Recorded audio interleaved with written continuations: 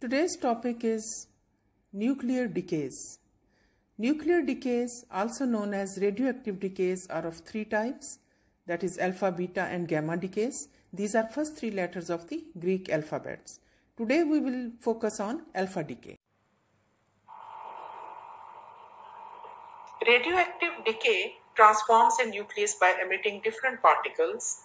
In alpha decay, the nucleus releases an alpha particle, an alpha nucleus. In beta decay, the nucleus either emits an electron and antineutrino or a positron and neutrino or captures an atomic electron and emits a neutrino. The positron is the name for the antiparticle of the electron.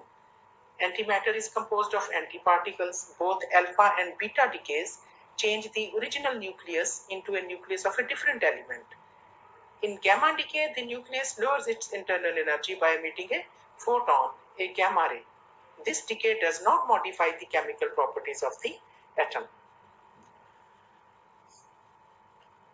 So there are uh, different equations, generic equations are given here. For alpha decay, it can be seen that nucleon number changes by 4 units and proton number changes by decreases by 2 units, where x is the symbol for the element.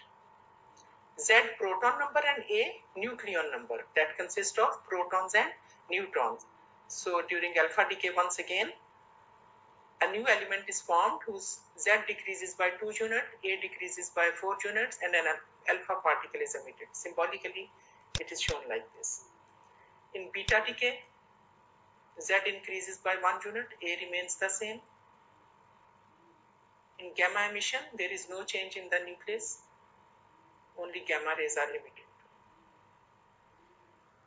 Now individually we will study some examples of each type of decay.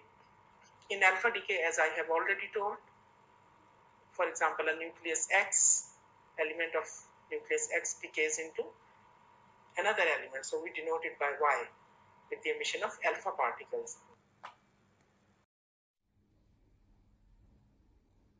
So alpha decays.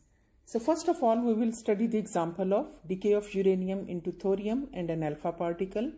See the uranium nucleus, uranium-238, it decays into thorium-234 by emitting an alpha particle. This is the equation that represents this kind of decay. And the second example that represents an alpha decay is that of decay of plutonium into uranium and an alpha particle.